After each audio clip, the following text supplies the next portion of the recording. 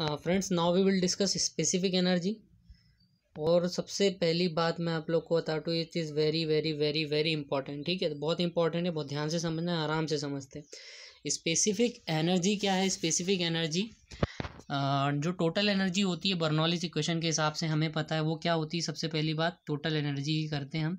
क्या होती है? जेड प्लस ठीक है? Y plus V square upon two G, ठीक है? Data head plus pressure head open channel flow के केस में जो डेप्थ होती है, वही प्रेशर हेड के बराबर होती है, ठीक है? प्लस वेलोसिटी हेड ठीक है?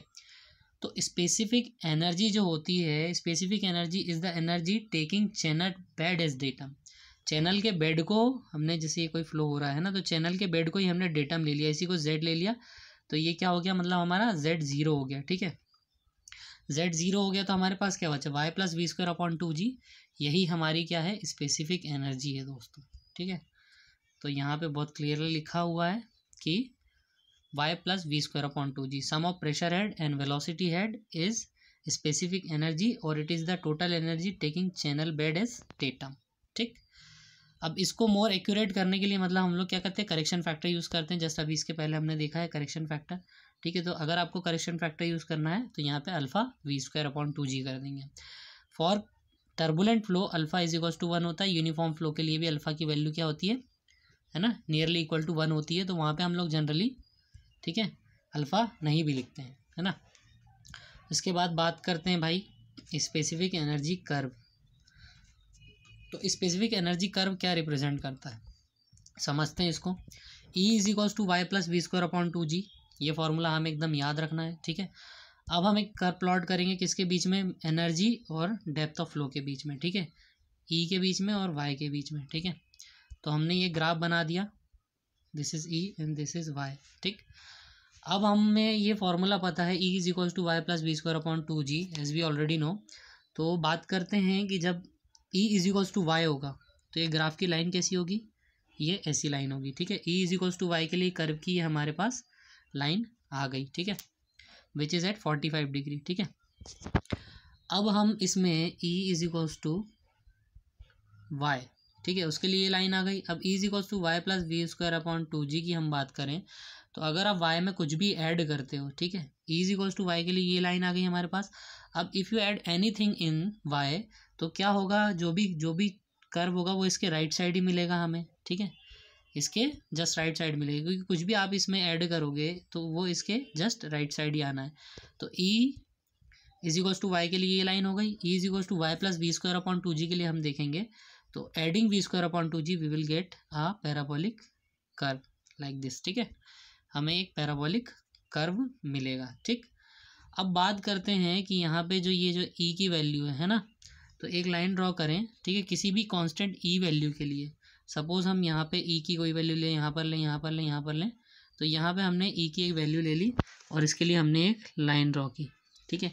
तो ये लाइन ड्रॉ की तो ये लाइन इस कर्व को कहाँ कहाँ कट कर रही है? देखो, एक तो यहाँ पर कट कर रही है और दूसरी जगह यहाँ पर कट कर रही है। इसका मतलब कि एक ही ई e की वैल्यू के लिए, ठीक है, हमें वाई की दो वैल्यूज़ मिल रही हैं, है ना? Same value of energy we will get the two values of depth एक ही एनर्जी की वैल्यू के लिए हमें दो डेप्थ की वैल्यूज़ मिल रही हैं। देखो आप यहाँ पे, है ना? इसको समझ लो पहले मतलब समझना ज़्यादा इंपॉर्टेंट है। तो ये ग्राफ है। हमने एक कोई भी एनर्जी की वैल्यू मार्क की और उस एनर्जी की वैल्यू के लिए हमने इस कर्व में कर्व से कट किया। तो हमें इस कर्व में, जब हम यहाँ पर डेप्थ की वैल्यू देख रहे हैं तो सेम वैल्यू ऑफ़ एनर्जी के लिए हमें दो डेप्थ मिल रही हैं। एक मिल रही वाई वन और एक मिल रही वाई टू ठीक है?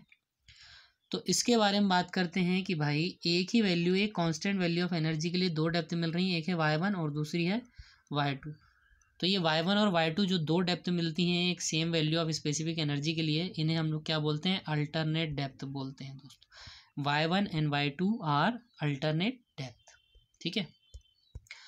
तो यहाँ पे हमें, यहाँ पे स्पेसिफिक एनर्जी का कर्व का कॉन्सेप्ट समझ में आया और इसमें हमें अल्टरनेट डेप्थ का कॉन्सेप्ट समझ में आया।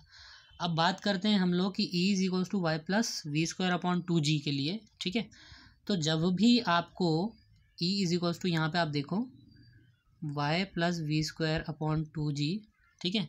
तो जब भी वाई की वैल्यू कम होगी, ठीक है? ई तो कांस्टेंट है। ई की वैल्यू तो हमने यहाँ पे एक कांस्टेंट वैल्यू मान ली। तो वाई की वैल्यू अगर कम है, जैसे यहाँ पे इस इस सेम कर्व में वाई की वैल्यू क्या आ रही है? एक जगह कम आ रही है, एक जगह वाई की वैल्यू ज़्यादा आ रही है। एक जगह इतनी सी आ रही है, एक जगह ये ज़्यादा वैल्यू आ रही तो वाई की वैल्यू जब कम है तो ई e की वैल्यू कांस्टेंट कैसे रहेगी? जब वेलोसिटी ज़्यादा रहेगी। और जब वाई की वैल्यू ज़्यादा हो जाएगी तो ई e की वैल्यू फिर भी कांस्टेंट है। सेम ए की वैल्यू चाहिए। तो ये कब रहेगी? जब वी की वैल्यू कम होगी। इसका मतलब जब ई e को हमें कांस्टेंट मेंटेन रखना है तो उसको कांस्टेंट रखने के लिए जब वाई की वैल्यू ज़्यादा होगी तो वी की वेलोसिटी कम हो जाएगी। और जब वाई की वैल्यू कम होगी यहाँ पर तो यहाँ पे वेलोसिटी ज़्यादा हो जाएगी।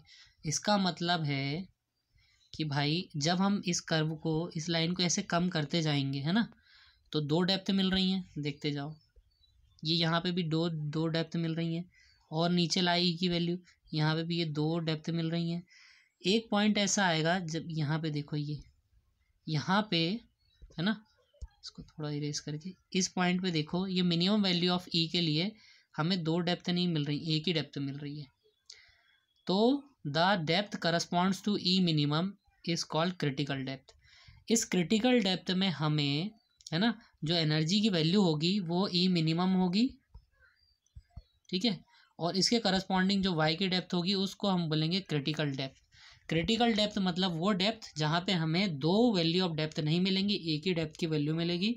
और इस डेप्थ की करस्पॉन्डिंग जो एनर्जी होगी मिनिमम होगी, क्योंकि इससे नीचे अगर हम लाएँगे है ना लाइन ड्रॉ करेंगे तो हमें इस लाइन के बीच में और इस ग्राफ के बीच में कोई भी इंटरसेप्ट नहीं मिल रहा है, ठीक है? तो एक बात हम ये समझ गए। अब इसके बाद हम बात करते हैं, जैसे कोई चैनल है ना सपोज़ ये चैनल है, जब हमारा ये कर्व की हम बात कर रहे हैं ना तो इस कर्व में दो डेप्थ पॉसिबल हो रही हैं। एक तो इसी इसी ग्राफ में इस पर्टिकुलर वैल्यू ऑफ़ एनर्जी के लिए कितनी डेप्थ है? दो डेप्थ हैं। एक डेप्थ ये है, दूसरी डेप्थ ये है, ठीक? इस पर्टिकुलर डेप्थ की वैल्यू के लिए वाई वन के लिए वेलोसिटी की वैल्यू क्या है? बहुत ज़्यादा है, ठीक है? और जब वाई की वैल्यू बढ़ रही है, ठीक है तो वेलोसिटी की वैल्यू काफ़ी कम है। इसका मतलब यहाँ पे जब डेप्थ इतनी है, ठीक है, इस डेप्थ के लिए वेलोसिटी क्या है? काफ़ी ज़्यादा है। वेलोसिटी ज़्यादा है डेप्थ कम है। इस डेप्थ की हम बात करें तो इस डेप्थ में क्या है? जब पानी यहाँ पर है है ना, इस डेप्थ में फ़्लो हो रहा है तो वेलोसिटी काफ़ी कम है और वाई की वैल्यू डेप्थ की वैल्यू काफ़ी ज़्यादा है। तो जब वेलोसिटी काफ़ी ज़्यादा होती है, उस फ्लो को हम लोग क्या बोलते हैं? सुपर क्रिटिकल फ्लो क्या बोलते हैं? सुपर क्रिटिकल फ्लो क्योंकि ये जो है, ये वाली लाइन जो है, ये क्रिटिकल को डिसाइड बता रही है, ठीक है? ये लाइन क्रिटिकल डेप्थ को बता रही है। तो इससे नीचे अगर फ्लो हो रहा है तो ये कौन सा हो जाएगा? सुपर क्रिटिकल फ्लो और इससे ऊपर अगर फ्लो हो रहा है तो वो हो जाएगा सब क्रिटिकल फ्लो ठीक है फ्रेंड्स आई होप आप लोग के समझ में आया होगा कि भाई फंडा क्या है, इसको दो से तीन बार देखोगे कॉन्सेप्ट एकदम क्लियर हो जाएगा। हंड्रेड परसेंट क्लियर हो जाएगा दोस्तों। ध्यान से समझने वाली चीज़ है, एक बार अच्छे से समझ में आ गई तो फिर कोई डाउट नहीं रहता है है ना? तो पहले एक बार अच्छे से इसको समझने की ज़रूरत है है ना? तो जिसमें फ्लो की वेलोसिटी बहुत ज़्यादा होती है और डेप्थ कम होती है, उसको हम लोग क्या बोलते हैं? सुपर क्रिटिकल ठीक है, जिसमें फ्लो की डेप्थ ज़्यादा होती है वेलोसिटी कम होती है, उसको हम लोग क्या बोलते हैं? सब क्रिटिकल तो ये जो क्रिटिकल डेप्थ है, ये इस ग्राफ को दो रीजन में डिवाइड कर रही है, ठीक है? दो रीजन में डिवाइड कर रही है नीचे वाला जो रीजन हो जाएगा, है ना, इसमें डेप्थ कम और वेलोसिटी ज़्यादा है, इसको बोलेंगे हम सुपर क्रिटिकल रीजन ठीक है?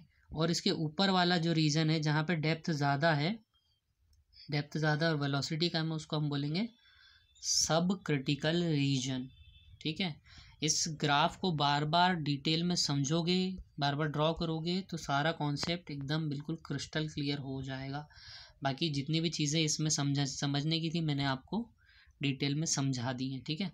तो this is all about specific energy and specific energy curve ठीक है दोस्तों? थैंक्स फॉर वॉचिंग और अल्टरनेट डेप्थ भी समझ ली हमने कि अल्टरनेट डेप्थ क्या होती है। The depth corresponding to the same value of specific energy किसी एक ही वैल्यू ऑफ़ स्पेसिफिक एनर्जी के लिए जब दो डेप्थ पॉसिबल होती हैं हमारे पास तो उसको हम लोग अल्टरनेट डेप्थ बोलते हैं दोस्तों, ठीक है? और जब इस एनर्जी को कम करते जाते हैं, कम करते जाते हैं, करते जाते हैं, करते जाते हैं तो हमें एक ही वैल्यू मिलती है डेप्थ की, ठीक है? अगर एक ही वैल्यू मिल रही है minimum corresponding to minimum specific energy उसको हम लोग क्या बोलते हैं? क्रिटिकल डेप्थ बोलते हैं, ठीक है? तो सारे कॉन्सेप्ट यहाँ पे हमने specific energy specific energy curve alternate depth super critical region sub critical region super critical flow sub critical flow discuss कर लिया है?